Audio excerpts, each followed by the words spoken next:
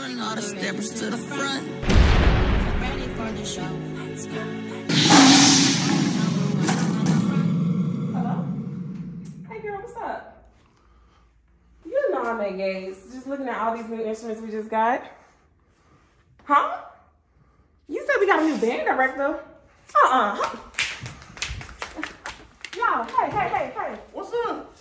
Damn, we are saying we got a new band director. New band director. Where you at? I don't know. This is, come on. Uh-uh, uh-uh, uh-uh. He in there? I don't know. Hold on.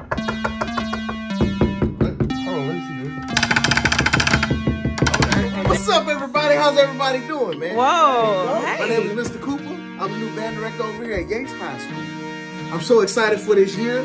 We're gonna actually have a whole lot of events. We're gonna have a whole lot of different field trips showing these kids exactly what it means to be in the marching motion, to be in a real marching band. We're gonna be doing battle of the bands. We're gonna go UIL competitions. We're gonna do a whole lot of fundraisers so these kids can stay active, as well as the parents and alumni. I'm excited for this year, and I hope to see you there at band camp. It's eight o'clock in the morning.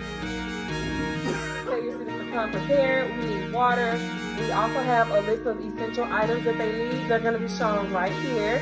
Everybody needs to have for the band camp for the first day so everybody can be prepared. Most importantly, I want to reiterate, we do need water. Make sure everybody is hydrated.